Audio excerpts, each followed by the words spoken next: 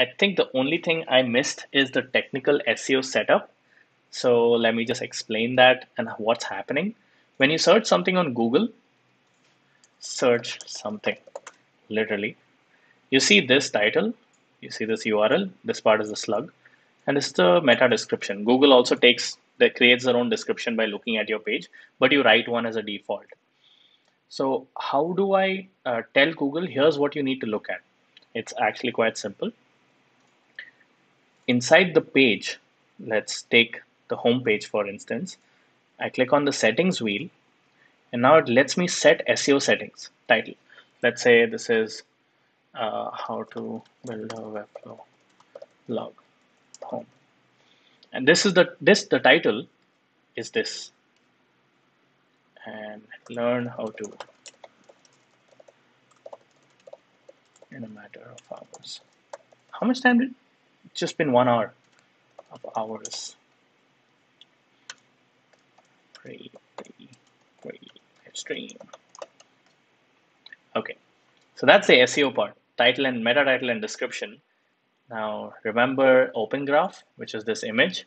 Open Graph also needs this title and description. You can simply say in the Open Graph settings, use the same as the SEO title, use the same as the SEO meta description. And here in the image, you can create a custom image and add it. So I already have an image uh, and Webflow, let me just save this. Webflow lets me upload images here. So let's use this new uh, button in the window called assets. Uh, the adorable asset is already there. So I'm just going to upload a new one. I'm going to upload this.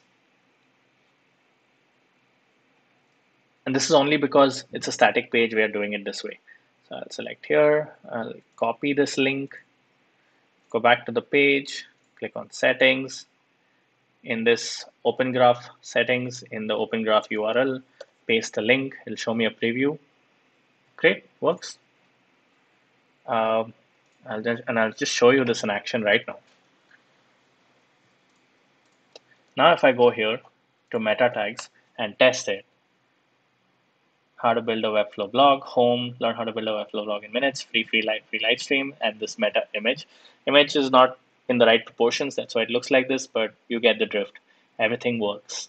We want to do the same thing for the other pages. We want to do it for the blog page. So let's say uh, blogs about life, living, loving, building. Uh, I don't know what I'm writing anymore. Blog. This is my blog. Check it out. It's not really necessary to put like fancy or SEO optimized keywords here for this blog page. You just want to make sure it's very intuitive when somebody sees the link or if somebody shares it with someone else and the preview that will show up in WhatsApp or in, in social media. Previews look something good enough. This is not a good preview, but I'm just setting the point. The other other parts like same as SEO title, same as meta description, uh, it's already set, save. So if I publish and I check the blog page, uh, it'll work. I haven't published yet, so let's see what it says before that. Hmm. Webflow put some basic like all blog posts, but there's no description and there's no image and now I'm going to publish this website again. Let's try it again. There you go, blogs about living, loving. This is my description, and I didn't set an image in this case, so there's nothing. Okay. Similarly, I want these blog posts to also have their own metadata, uh, so that when it shows up here on Google, or if somebody shares it, there is some, uh, like how I showed you here, there is some data that shows up. All right, and how to do that is, it's quite simple again. Click on settings. By now, I think you know. In this case, I'm not even going to type out a title tag. I'm just simply going to say, take the name of the blog post and set that as the meta title. And maybe you'll call it at the end, your name's blog. So this is the static text which will get added in every uh, page. You, if you want to. Uh, in my case, I think, yeah, it's there. This part uh, this is the static part and this is the name of the blog post itself. Uh, so you can do this and in the description, remember we had a field called meta description. Just put meta description here, done. And oh yeah, I missed a field, sorry. I missed open graph, same as SEO title, same as description. In this case, since it's a it's a CMS generated page, I can select an image from the CMS. remember, I created something called post image. So I'll just select it. Whatever is the post image will become the open graph image. Let's publish.